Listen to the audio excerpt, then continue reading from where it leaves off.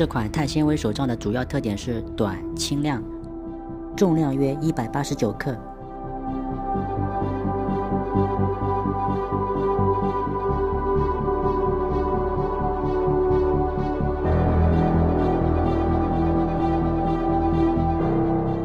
三百六十度哑光耐磨涂装，管径十八、十六、十四。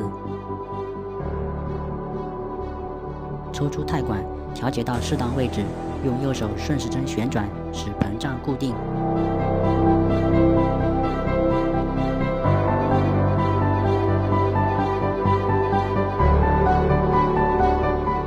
这样就可以正常使用了。